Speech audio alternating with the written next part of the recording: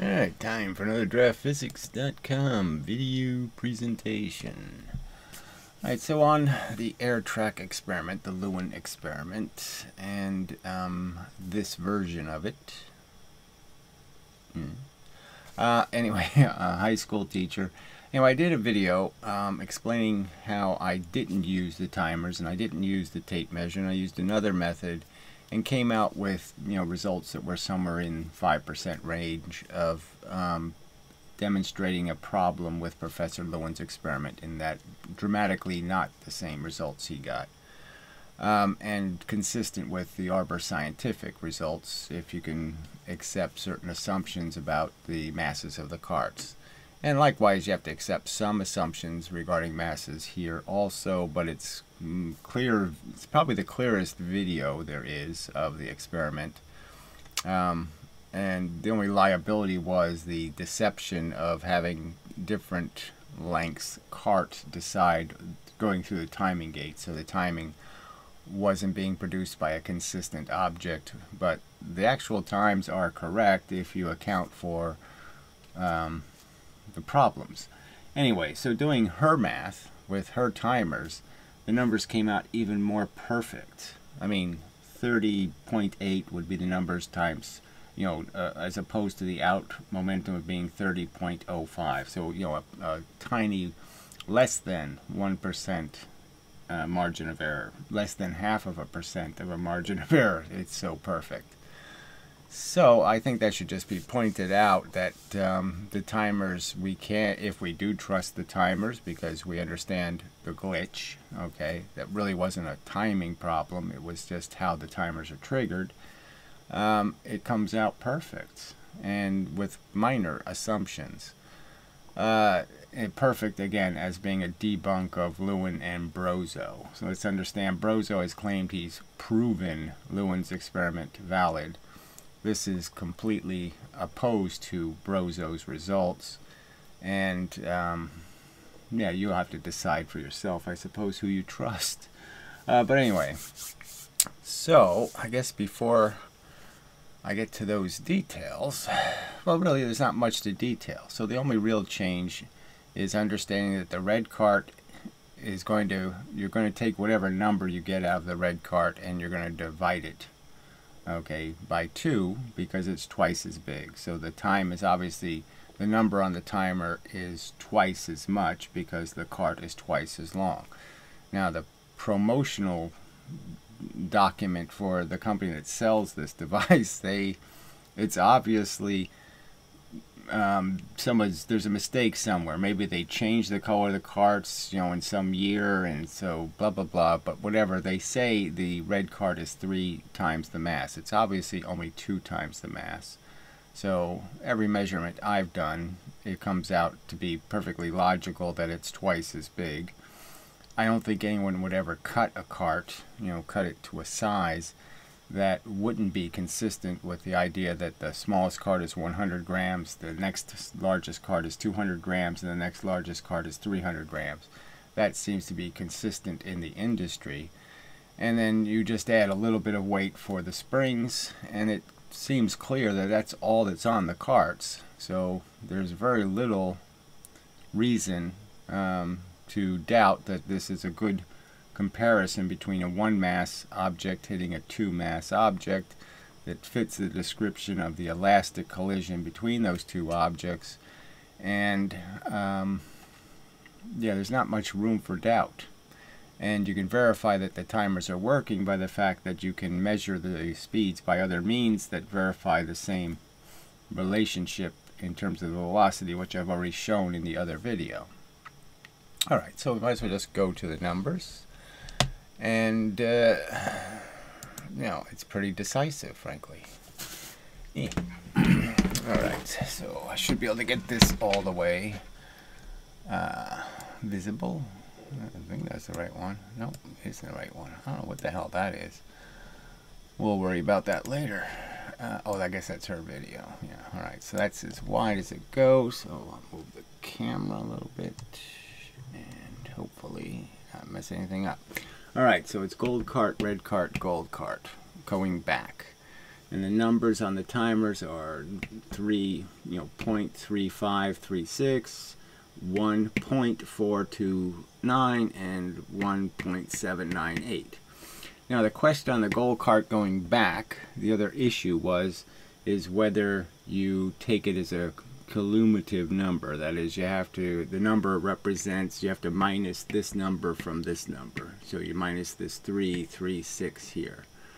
Um, but the fact is, it doesn't make much difference down here. It's still less than 1% of a difference. And I say this number is correct because if you if you do subtract this number from this number, you end up with almost perfectly half of what would be the red cart's velocity. And I measured it me mechanically, and it's clearly less than a half. So this number appears to be the correct number. So you don't subtract this from this. So anyway, and so this red number here represents this number divided by 2 because the cart is twice as long when it went through the timer.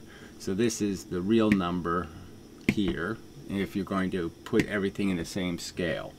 So those are your three numbers.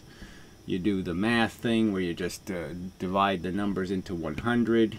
I, I didn't bother worrying too much about the decimal points. Decimal points are correct relative to each other, but they're not correct relative to any kind of, um, because we don't know the exact length of the cart, therefore we can't say how much of a meter it is, whether it's a, you know, tenth of a meter or what it is, so it doesn't really matter. Um, so you do that math, you come up with these proportional numbers as a percent, as a rate, and then I multiplied the gold cart times 1.1, assuming that, say, the springs, the little metal springs that are screwed on, each one weighed 5 grams. That was just my estimate. Again, it really doesn't matter if I change this number to a 2.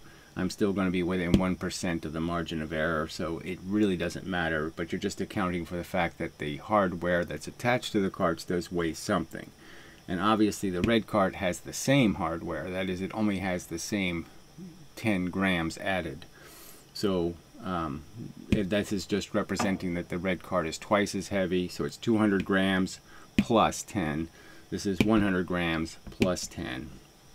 You do that, you get these numbers, and you combine these two, and you get numbers that are just decisively close to each other. So all you lost was 0.75, you know, as a, and that's what you would expect. You would expect some loss of momentum, a tiny bit of momentum would be lost by heat and bouncing and whatnot when the springs collide with each other. And so it's perfectly consistent. No, really perfect. It couldn't be like you couldn't ask for it to be more perfect in terms of conservation of momentum and you know destruction of the uh, kinetic energy as a theory and it should be understood that in the professor lewin experiment if this number was 30 going in the number coming out would be 45. So Professor Lewin's experiment is way off this experiment. Not a little bit off. I mean, it's way off. You know, way different results. Brozo says this number should be 45. That's his theory. You know, even though you can't possibly make this experiment do that. So, um, yeah, so I think it's a pretty decisive, actually, piece of evidence it's perfectly consistent with Professor Lewin's second experiment. So let's understand the second experiment in Professor Lewin's lecture video where he accidentally does this experiment where he's trying to connect two carts and make them stick together and they don't stick, they bounce. The Velcro doesn't work, they bounce off of each other. So it's essentially this experiment. The only thing missing are springs. So the only thing missing is that this cart doesn't go in the opposite direction, it keeps going in the same direction but the number is perfectly consistent. It's a tiny speed in that direction. Um, and these are the numbers in Professor Lewin's second experiment. Momentum is perfectly conserved, um, and these ratios are perfectly consistent with what took place in that experiment. Uh, so, you know, I say uh, it's pretty convincing evidence that this experiment uh, demonstrating the kinetic energy theory, uh, a consequence of it, demonstrates that there's a problem and that the theory doesn't work, the math doesn't work. So they can say their math works. It clearly doesn't work. It doesn't accurately predict the experimental results. The prediction of the math is 45. Now, in spite of the fact that that prediction means there's free energy, in my opinion, in the universe, it means that you can make a free energy machine. So it's obviously out of whack, just logically, in my opinion, but it's clearly out of whack with the actual experimental results. Yeah. Okay, that's probably um, clear enough. So the only issues were, let's do that again. Uh, the red card is clearly just a two mass card, not a three mass card. I'm saying that's clear. I think it's also clear that it's twice as long. And, um, yeah, is there anything? And it doesn't really matter about the going backwards in the timer. It's not enough of it to make any substantial difference. But I would argue that you can logically, again, understand that she she's wrong in the sense of that's not how the timer works. The button, when you press it, doesn't give you a cumulative time for both carts going through and coming back. It just gives you the going back time. Alright, enough of that. So I guess the rest of this video will be an update video, so I'll go over some of the other videos I've made. And, uh, yeah. Okay, I think that yeah, that's probably enough. some other, um, I, you know, well, whatever. I'll get to it. All right. Well, talk a little bit about yesterday's uh, conversation with um, and um, you know, and uh, you know, the, the, idea would be to focus on getting the experiment done again, um, and as well as can be done, you know, just so there's just no doubt. So no reasonable person could have any doubts about what actually is mechanically happening when you do this interaction. Now I would say these other experiments are pretty simple also. Just launching the two carts with the same spring. The same spring compression, you launch the two mass cart, same spring compression, you launch the one mass cart. Because there are people who are claiming that the one mass cart can't possibly leave at twice the velocity that somehow it's going to be less than that, um, you know, by some kinetic energy rule. Uh, sort of the idea that you need four times more gas to go twice as fast. Now, even though there's no evidence you do, they believe you do, and therefore they believe you can't create free kinetic energy. Uh, you know, they're conserving kinetic energy and shooting, okay, momentum. And I'm clearly arguing that no, kinetic energy is just a fallacy. It's always been just a fallacy. It's been just a something made up in somebody's head as an idea. Uh, it was never true. It, it's never been true. It's there's no good reason to believe it.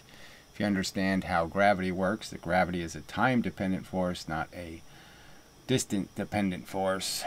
That It's all about how long you're in the gravity rain will decide how much energy you collect from gravity. Um, that is when you're free falling. Obviously, when you're not free falling, when you're stuck being held by a surface, you can't collect the gravity. you can't collect more momentum if you're not moving. Uh, but anyway, um, so the focus of the conversation is basically getting somebody else involved in this conversation that can either do the experiment or can make arguments explaining how it really is compatibilism, that there is some idea that there's a concept of momentum and a concept of kinetic energy, and somehow they aren't in direct contradiction with each other, which I claim they are. And it's every time they try to combine those two formulas, they just make a mess, as they did in this case. They create experimental outcome predictions that are not consistent with reality. Um, and are, frankly, on their face nonsensical because they create free energy. And we know you can't, if that was possible, the millions of people trying to find it would have found it by now, if it was this obvious. All right. Um, so that's part of the agenda. Um, he has somebody, you know, trying to encourage uh, to participate, a physicist, and uh, you know we'll see you know um, what kind of person shows up first um, I kind of want to have a contest again you know but I there's no way to really run one where everybody stays honest you know too many people cheat um, so maybe just for fun but maybe uh, just a, a, a, a you know a dead list of who will be the first talking head physicist to concede Houston has a problem and they have to address it. You know, how long will it take for the, you know, Action Lab types and the Veritasium types and the Steve Mould types and all the talking heads? You could go through all those, the deGrasse Tysons and the Sean Carrolls and all those people.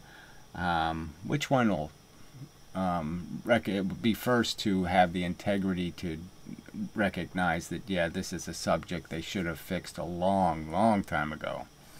frankly, it should have never gotten broken.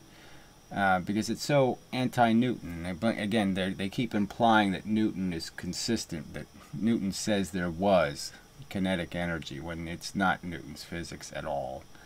And, um, you know, they keep showing Galileo and Descartes and Newton as if they had respect for these people, but they really don't.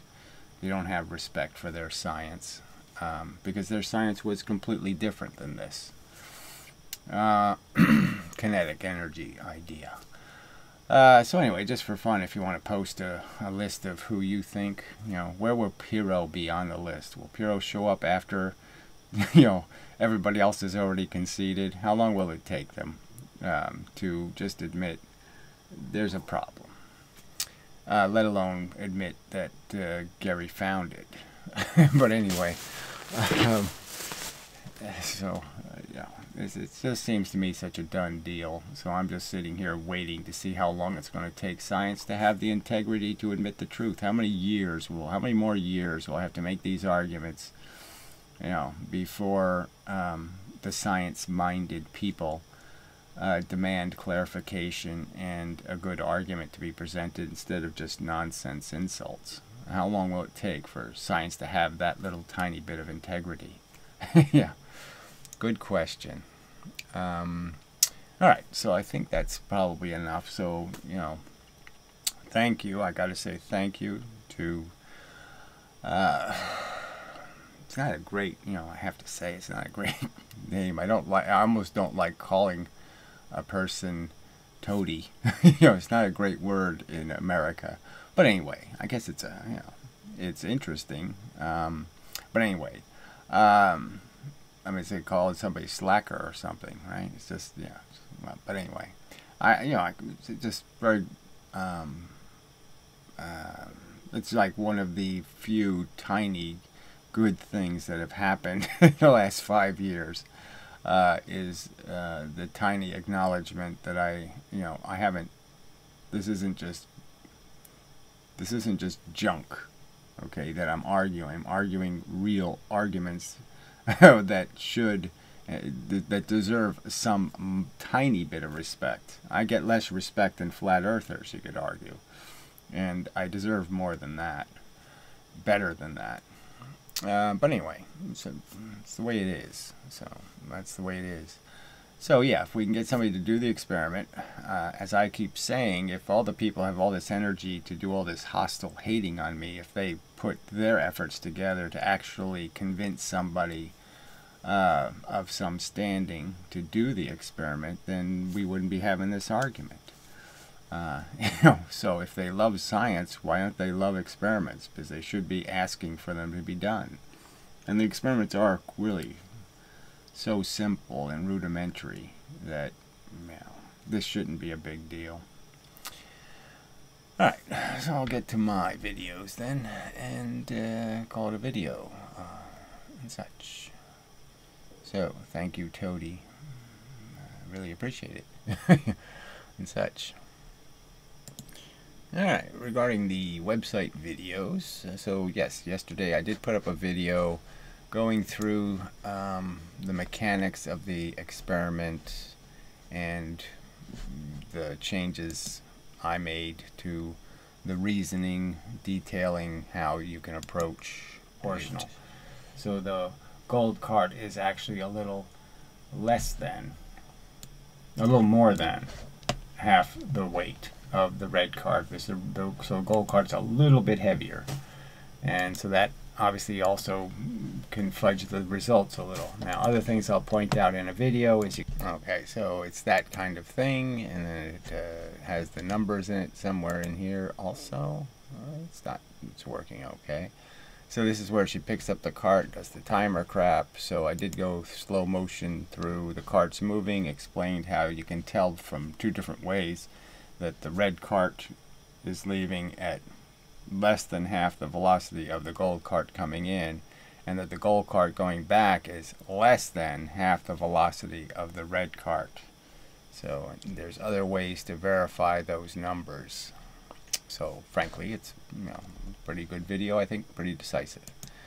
All right, Action Lab did a video on the interferometer. I it's not a technically perfect video in the sense that I'm talking sometimes while the video's playing and I didn't realize I still had the blackboard over the video, um, but it's basically an argument about beam splitting and what actually is an interferometer detecting and whether it's really the wavelength of the light or something or multiple wavelengths actually and that there's lots of logical arguments to be made about how they're not precisely correct in the assertions they're making about what actually is happening. And it also clearly goes to the whole wave particle I will say crap. Um, because you know, because you're going to have to choose one, just like you got to choose momentum or kinetic energy. Um, it's either something being controlled by a sticky ether or there's no sticky ethers. I'd say there's lots of arguments that make sticky ether useless um, and unviable as a mechanism. And, you know, just the whole idea of, you know, what sticky ether moving this way and sticky ether moving this way. I mean, the whole thing is, I think, a mess as a theory, and I make some of those arguments. All right, so this was I. I'm making a series of these shorter videos, um, overview videos, all of that kind of stuff, trying to put all of the basic arguments in you know a smallest space of videos as possible um, just to make it easier for people to get up to speed about all the arguments I have made over the last 10 years without watching hundreds of videos. And so in the effort also to you know often people don't pay any attention to the points I make in videos and they respond to irrelevancies like what shirt I'm wearing.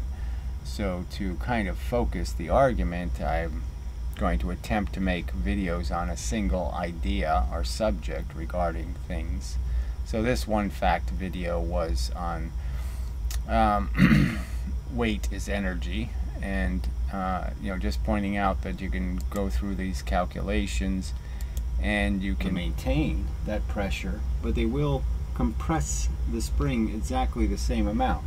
I mean the um, so I'm just making the kinetic energy argument about how much you're compressing a spring based on doesn't matter the velocity or the weight ratio. Uh, a scale doesn't care whether you move in fast with a light object or you have a heavy slow object. It's really the spring is just measuring the amount of momentum. Springs measure momentum. When you're standing on a scale, it's basically measuring your momentum in the sense that you have a net velocity into the earth um, of one meter per second.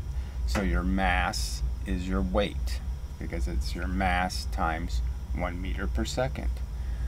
Uh, you know, and it's if you did it sideways, you'd see the same result. If I pushed your mass sideways at one meter per second into a spring, into a scale that you usually stand on, it'll weigh exactly the same as your weight from gravity. So it kind of decisively points out that although it doesn't look like you're moving a net amount into the earth, the fact is that you are in the sense that you're spending more time going down than going back up. The earth pushes you back faster than you got pushed into it. So technically you're spending more time going down into the earth than going out of the earth. and uh, it's a simple way to understand it, I think. Uh, but the real point of this particular video is just to point out that momentum is weight. So any movement of any mass creates a weight, a pressure in the direction of the movement. And that's all you're really measuring. When you're measuring your weight, you're measuring your movement in a direction. And such. Alright, so next was, uh, yes, this wasn't directly Sabine Hoffenfeather, Feather. Um, let's see, so this was, I did some comments and I did some, um, some of this stuff was actually pretty funny and good. So if you want to watch a video, this is probably a good one. What is your opinion of the quote, any attack on me is an attack on science? I don't know. yeah, so I'll believe that one there. Uh, I do have an opinion, but there's no point in voicing opinions anymore. My opinion is I really, if I have to say who's lower on the scale, right, the average politician or the average conspiracy kook, yeah, I have to vote with the politician. I mean, as bad as that is, because, yeah, all the conspiracy kooks are that, conspiracy kooks. Forget it. They're too stupid to ever conspire to do anything. It's the three stooges. You're sitting there saying, oh, the system has you know, is against me. How could it possibly be against you on purpose? Okay, yeah, it, it does everything wrong and it, everything sucks, but it's not personal. They're not trying to be stupid. They just happen to be stupid. Time dependent. Well, you can say it all you want, but it's clearly obvious to rational, logical deducers. Okay, that's the, that's what it is. That's the right answer. Your distance is, uh, your argument is nonsense. Because, right, so this idea that work equals force times distance is stupid. It's force times how long you're in the force. How long you're in the rain decides how much rain, how wet you get. It's not how far you walk in the rain, it's how long you're standing in it, period. How long you're being affected by it. And it's to me that's so obvious. I shouldn't have to argue with reasonable people, but apparently you do. Substantive, because somebody disagrees with Professor Lewin. So again, you're just showing your your insane, duplicitous hypocrisy. Right. So they're ragging on me for finding fault with a, a professor and a professor who obviously doesn't use very kind language. So you see this, and you know I hate to point to the exist because the flat Earth community is on my mind just because of um, and they do this all the time. You know, they talk about civility and they don't show any. You know, it's you know they're cruel and um, abusive, and who are they cruel and abusive to? Ninety percent of the flat earthers are actually mentally ill people, and um, you know they're just making a living, living mocking the retarded, and you know doing retarded people fail videos and they're all proud of themselves like they're you know preserving the integrity of science. I think they're showing that science doesn't have any integrity. I don't think they're actually they're not doing science any favors by buffoonery. The paper he published is a scientific paper that had wrong in it? No you can't. Mm, you coward. paper. Why don't you back up what you're defending, you coward? Oh, fuck. Yeah, I don't know who that was. I don't know who he's talking about in that exact instance. But it doesn't matter. That would be interesting. Just so you all know that Newton was against it, not for it. It's not Newtonian physics. Hmm, Let me go back a little bit. Monads. I think that's why he was serious so aggressive about shoving his religion into his physics. Imperial has some other, some similar kind of wooey infinitude. Yeah. Yeah. yeah. Okay. Uh, yeah. So there are some Puro comments in here that are, like I said, I thought my, yeah, I did all right um, in terms of um, witticisms. I witticism pretty good. All right. So jumping to, let's see, we just did that one, right? Uh, yes. Okay. Yeah, there were a few videos that you know, they're all on the website. So if you can't do the website thing, well, I guess too bad. Um, so the slit experiments, this was a good video just going over um, all of the, you know, again, mechanics of the experiment that everybody keeps ignoring. And I went through a lot of the mechanics. I'm going to decide how big okay, the primary bars are. That is the bar. Oh, okay, this was the one fact. So I'm just trying to point out how. So the one fact here is that the outside dimension is critical to defining how many nodes of light there are and where they are. And that sort of blows up all of this Huygens theories and all this other stuff because it becomes kind of obvious that Huygens can't go through the impediment in the middle.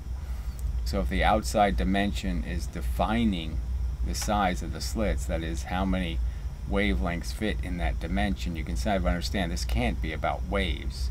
It has to be about point sources.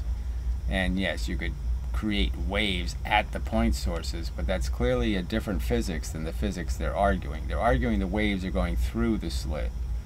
They're not arguing that the waves are being created on the surfaces.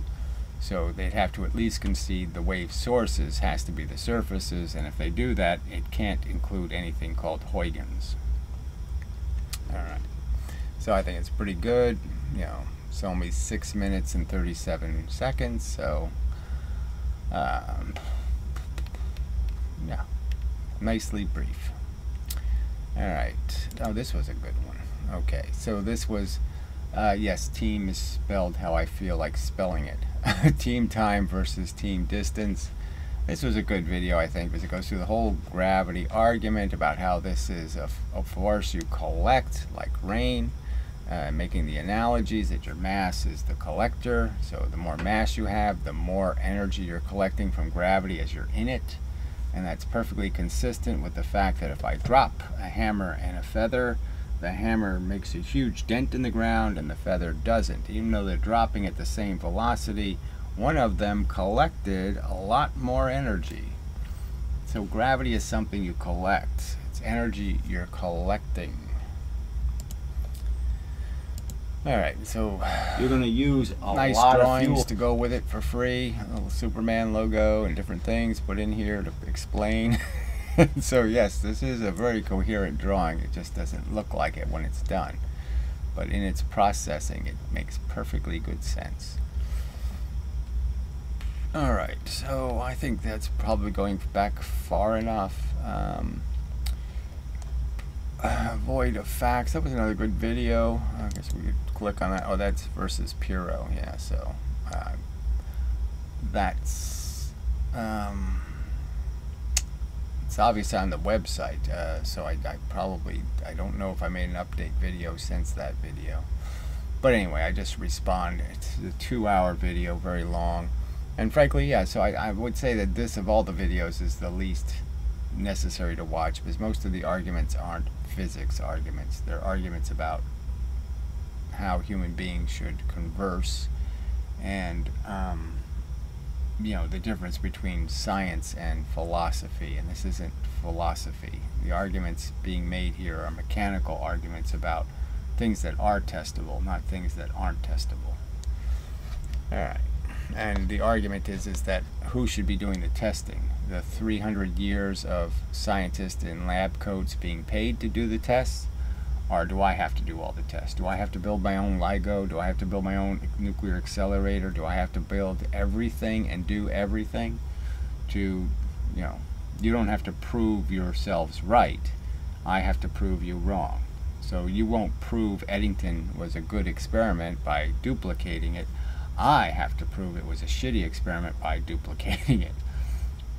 I have to go get a 12 foot telescope and I have to, you know, a 12 inch lens and I have to go to Africa and do a frickin', you know, and because you'll never do it from space, right? Even though the resolution is 400 times better, we'll never see it done from space.